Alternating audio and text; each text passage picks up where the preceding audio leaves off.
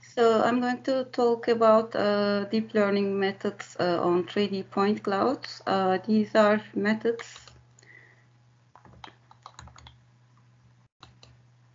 Sorry, my computer is a little bit slow.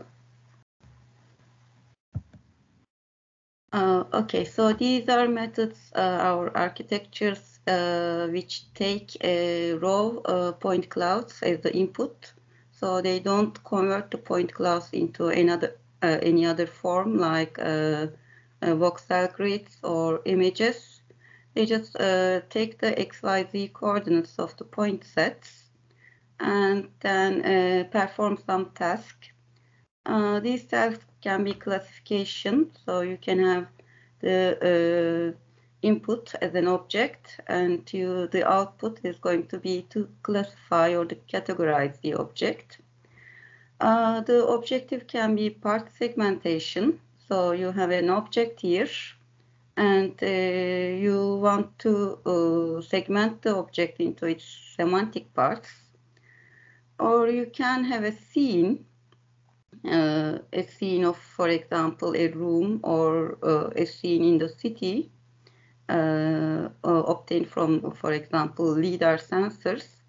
And you want to segment this uh, point cloud into, again, some semantic objects or semantic structures.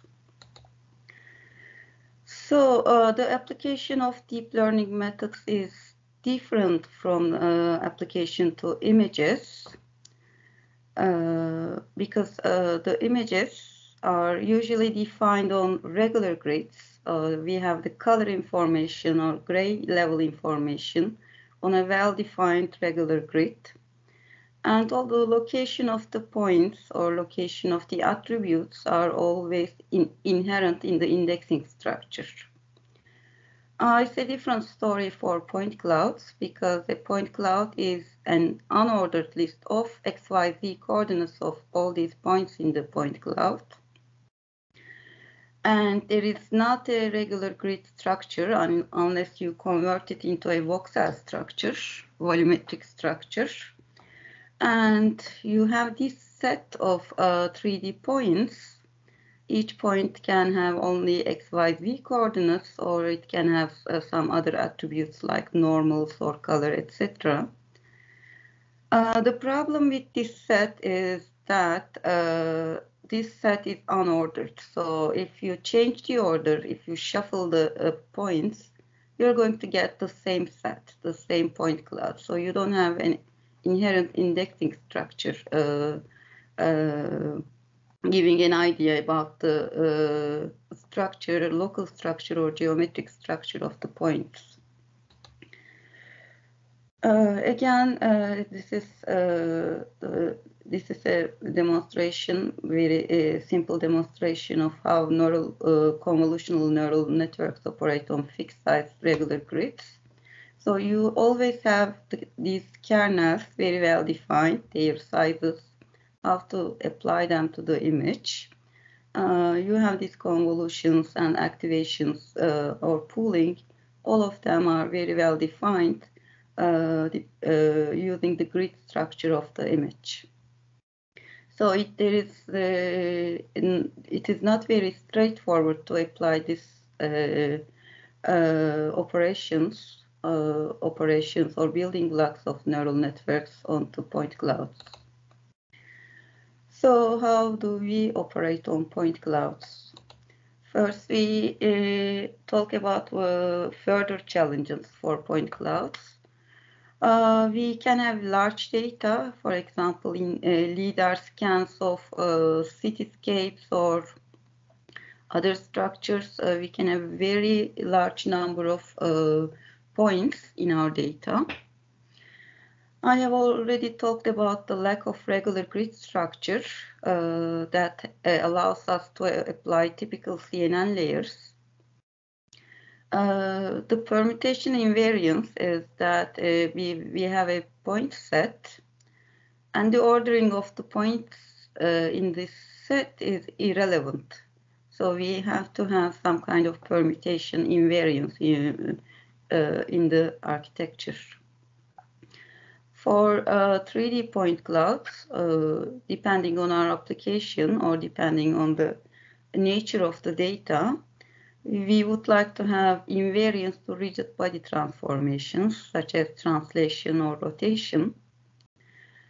And another problem is that unlike images, where we have the regular grids, uh, the point clouds uh, uh, have a variable density throughout. Uh, uh, throughout. So it can be dense in some regions, the points can be dense in some regions, and very sparse in some other regions. All right, so the permutation invariant states that uh, the net network should be invariant to shuffling of the input point cloud. So if we have a network which is defined, for example, as a function f, and uh, this pi will be the uh, any permutation of the points, the uh, network function should uh, uh, give the same result. For example, these two sets, we shuffle the ordering of the points. The network should give us the same result. All right, to solve this, these problems and to handle point uh, cloud data, uh, PointNet was introduced in 2017. Uh, the objective was to find a symmetric function such that the symmetric function will be invariant to the ordering of all these uh, points. Uh, for example, you have these points coming uh, um, coming into the network, input points, and uh, you want a function g where it is not dependent on the ordering of these points. So the simplest one is the maximum, maximum function. So what they do in PointNet, so you, have these x, y, z coordinates of each point in the point cloud.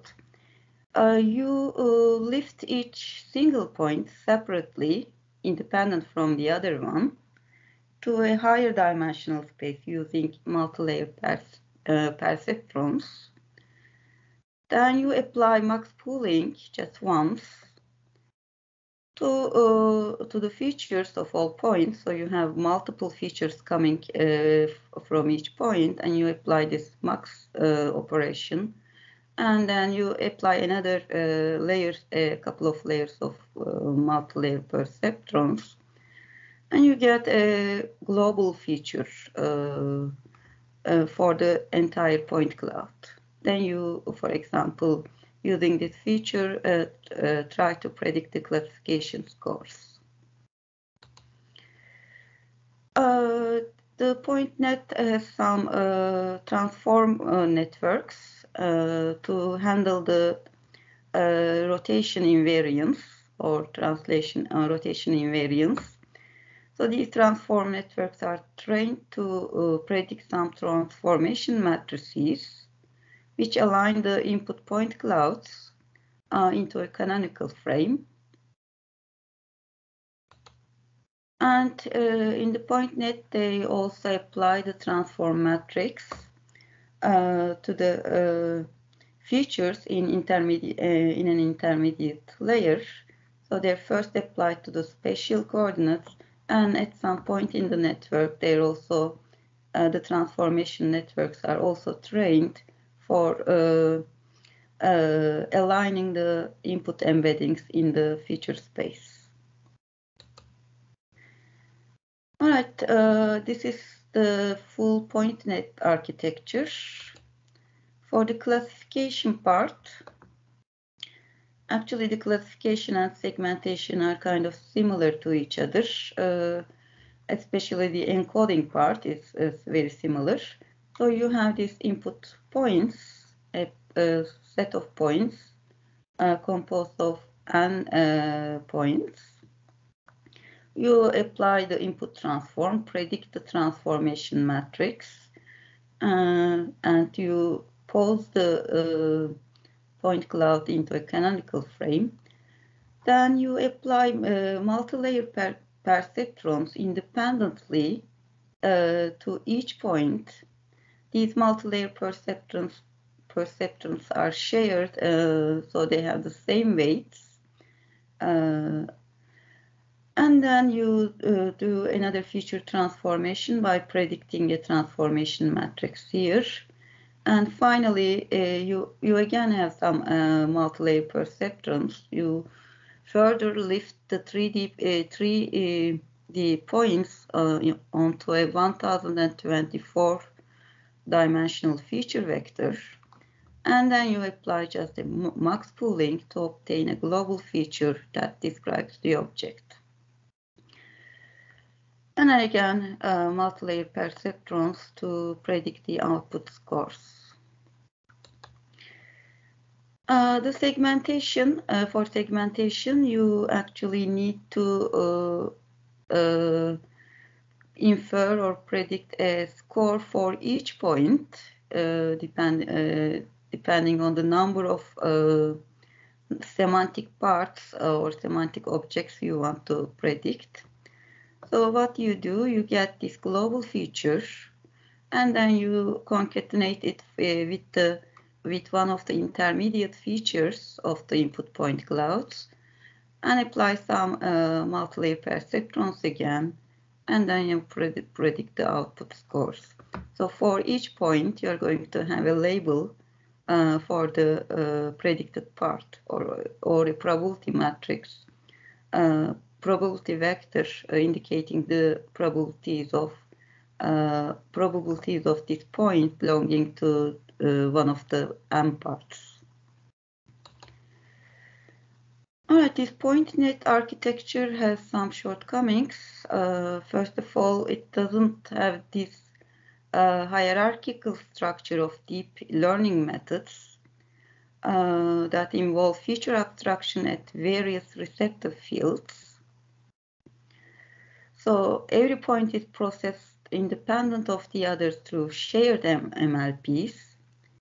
We apply the max pooling only once uh, to the full point cloud to produce a global feature. So there are no uh, features that uh, describe uh, the local properties of the uh, of the point cloud at various scales. And also uh, it's related to all these observations, the spatial relationships or the geometric relationship between neighboring points or faraway points are lost in a PointNet. All right, to solve the problem, uh, PointNet++ was introduced. What happens uh, here uh, is that the point cloud is hierarchically partitioned into larger point subsets. For example, here you have uh, this point cloud. You uh, define some local regions here around some sampled points. And you apply the PointNet architecture recursively to these nested partitions for uh, feature extraction. So for each region here, uh, you uh, you uh, uh, you get the you get a feature describing this region using the PointNet and the classification and segmentation uh, structure are uh, kind of similar uh, sorry the classification you just get a global feature vector for segmentation uh, for each layer you have some skip link connections. So you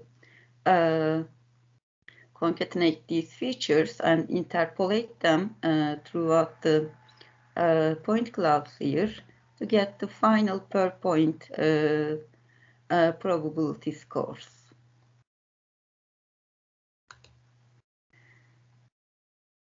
Okay, so to organize a point into hierarchical receptive fields, the most common approach is that of PointNet++, so what is done is we sample the point cloud, obtain some uh, sample points or representative points in the point cloud.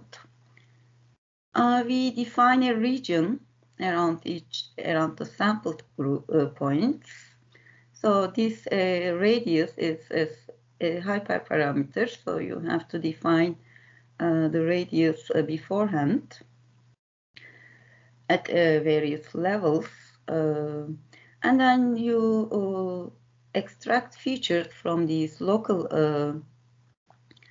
local regions and then you uh, sample further the sampled points and then uh, uh, extract larger uh, groups of larger radii and then stack, you stack several levels of sampling and grouping together into the architecture.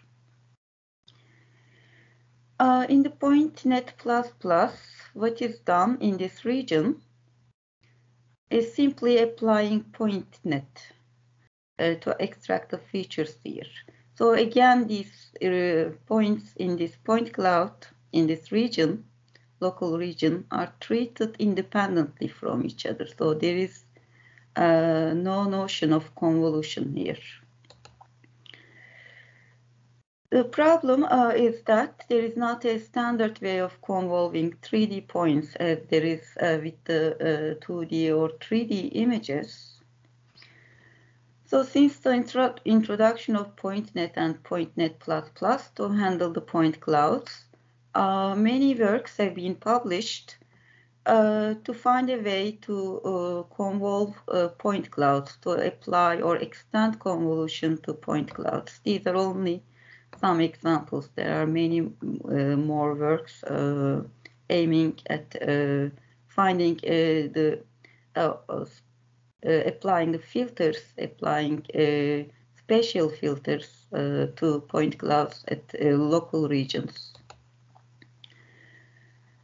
I'm going to talk about some of the examples of these approaches uh, to mimic convolution for point clouds. One is PointCNN.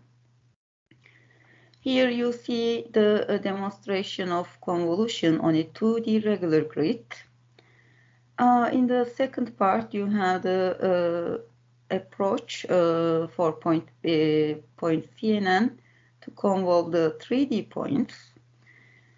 So what happens here, they use an MLP to estimate the transformation to have an ordering. So you have, for example, in the 2D regular grid, you have a natural ordering here. In the 3D point clouds, you predict the order using a transformation in the network. So the, when you order these points, you can uh, match the kernel with uh, the ordered point cloud, uh, the ordered point uh, in this uh, locality. And then you can apply the kernel and we weight by a kernel uh, and apply convolution after that, you get a single point or single feature uh, out of these points, and then you can apply downsampling.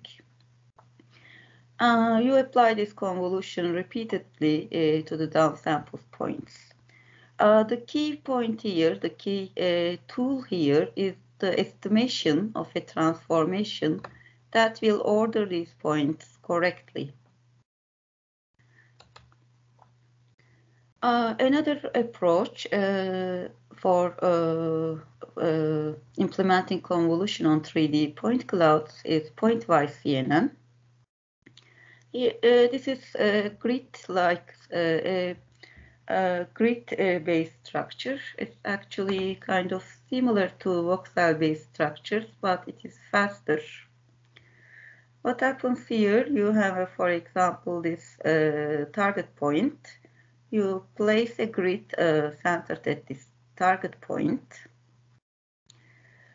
and uh, you use the point coordinates in the grid, in this grid, uh, for convolving with a kernel. So you know these grid uh, indices, so you can match these indices with the kernel in the uh, in your networks which you want to train.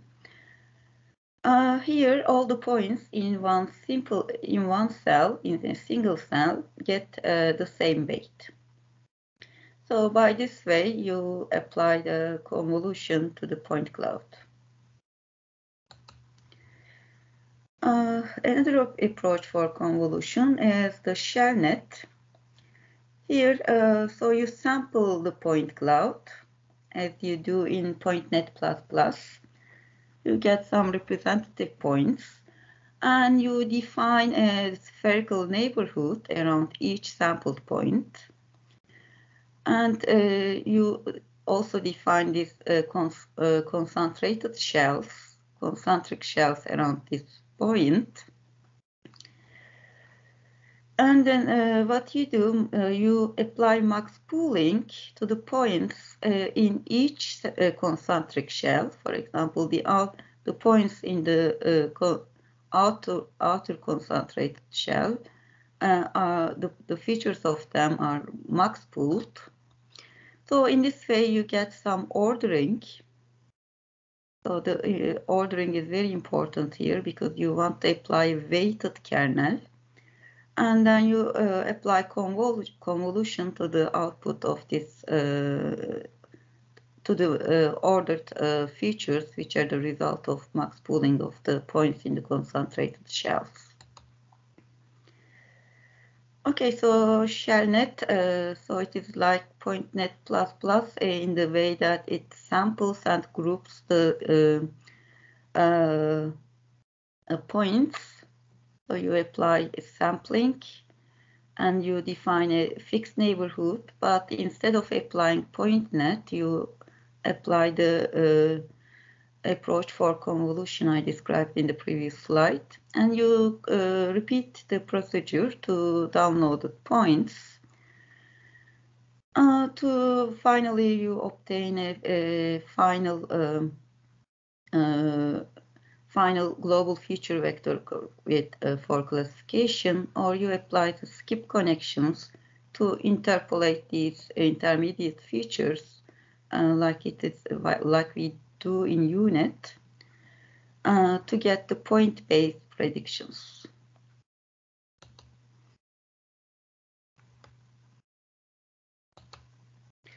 There are many more approaches. Uh, we have a graph graph-based network methods or recursive neural networks or attention-based methods or point uh, cloud transformers uh, to deal uh, with 3D uh, point clouds to apply uh, deep learning methods to 3D uh, point clouds. I'm, I'm finally going to talk about our recent work to apply these uh, architectures uh, to segment the structural parts of plants. So we have this ROSE-X dataset. In this dataset, we have 11 fully annotated 3D models. Uh, these models correspond to rosebush plants, which uh, are uh, obtained using X-ray scanning uh, device. So the uh, so as I said, they are fully annotated. Each point in the point uh, corresponds uh, to one of the three organ classes: leaves, stems, and flowers. Uh, we uh, applied, we actually modified the hyperparameters, added or removed some layers to six point-based architectures and we compared uh, their uh, performance in terms of segmentation accuracy. So what we did, uh, we had uh, used uh, one, two, or three uh, rosebush models for training, and we applied the trained data on eight real, real rosebush models and we compared six different architectures, PointNet, PointNet++, uh, Dynamic Graph CNN, Point CNN, ShellNet, and RIConv. Uh, Dynamic Graph CNN is a graph-based method. RIConv is very similar to ShellNet, but what it does, it, uh, uh, it extracts features which are rotation invariant. Here in this table, the first row corresponds to the performance segmentation performance uh, in terms of mean intersection over union with networks uh, trained with three real road rosebush models. And the second row corresponds to the uh, these networks trained with the three uh, uh, real Rosebush models, and they are updated uh, with some synthetic Rosebush models. To these synthetic Rosebush models are used for uh, a, a way to augment the data. Uh, what we observe here is that PointNet++ gives the best results because we, it is more flexible as compared to the other methods uh, uh, to determine the sizes of the hierarchical lo local regions. So we can uh, we can adjust the radius of the local regions uh, to the uh, to um, characterize the plant data and we can use this uh, uh, flexibility to extract the features in the correct uh, uh correct scales. All right, so that's the end of my presentation. Uh, thank you for listening.